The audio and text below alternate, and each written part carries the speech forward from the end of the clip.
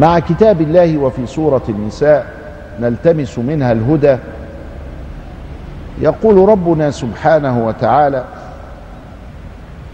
وهو يقرر حقيقة كونية إيمانية. كونية لأننا نشاهدها ونحياها ولا ينكرها إلا جاحد.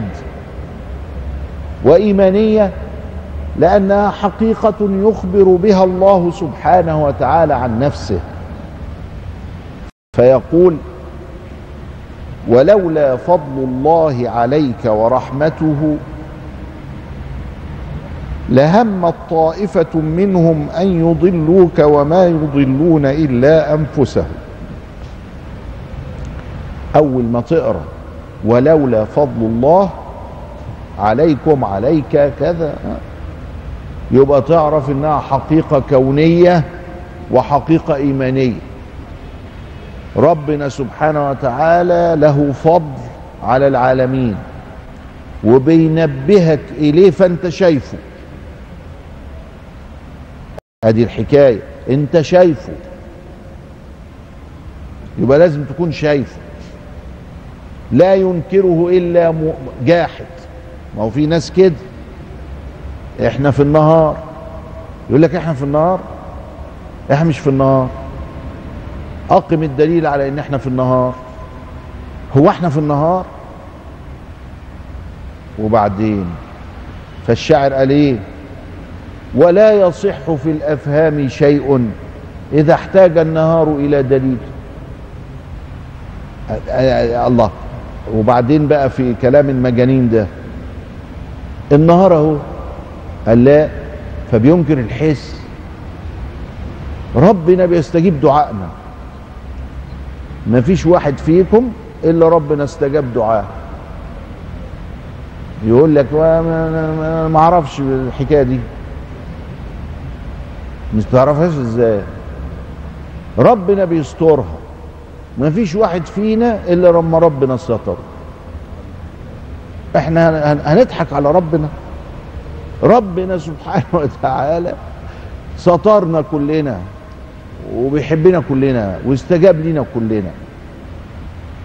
فإذا ولولا فضل الله لسه مش هنكمل هي بس العبارة كده ولولا فضل الله يبقى على طول حقيقتين حقيقة إيمانية وحقيقة كونية مشاهدة.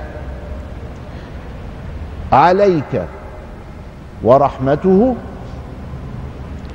لهمت طائفة منهم أن يضلوك. همت. بس هي ما همتش.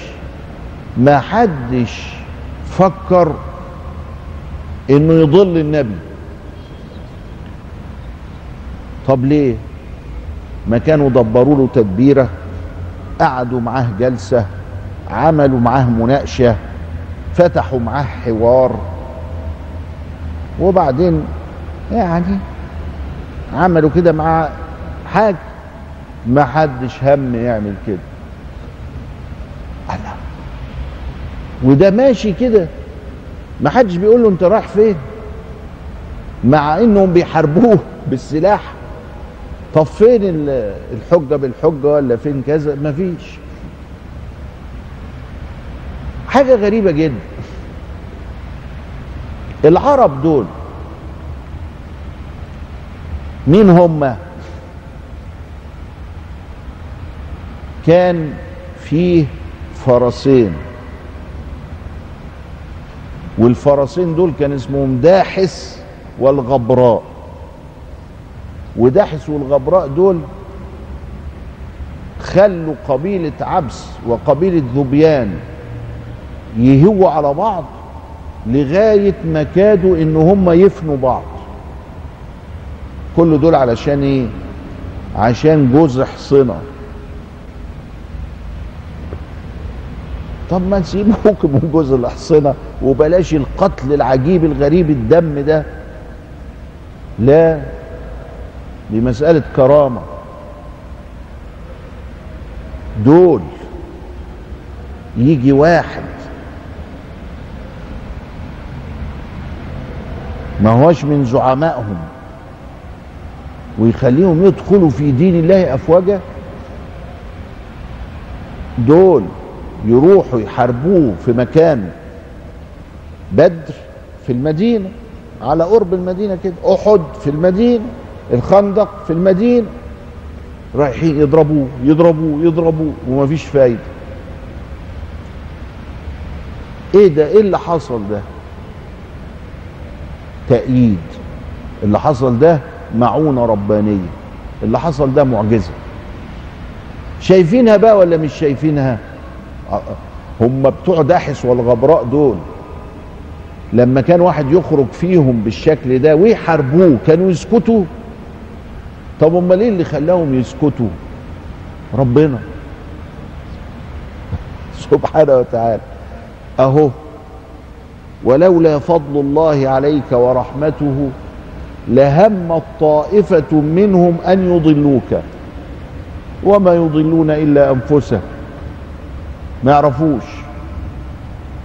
طب والهم ده إيه؟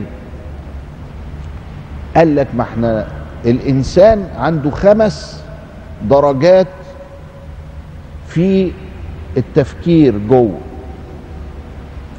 أول حاجة الهاجس. الهاجس ده معناته إيه؟ الهاجس ده معناته إنه صورة مشت في ذهني كده. هاجس. المصحف جه قدامي ومشي كده. وفي خاطر. إيه الخاطر؟ قال لك الخاطر إنه المصحف يقف بقى كده.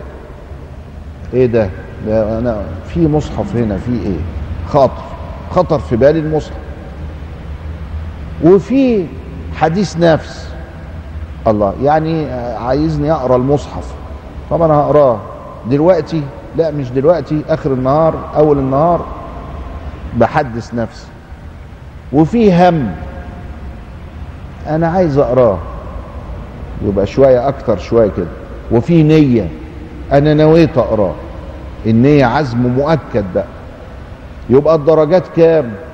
خمس. والهم نمرة كام؟ نمرة أربعة. اللي هو يريد ولكن لا, يف... لا, لا يعزم.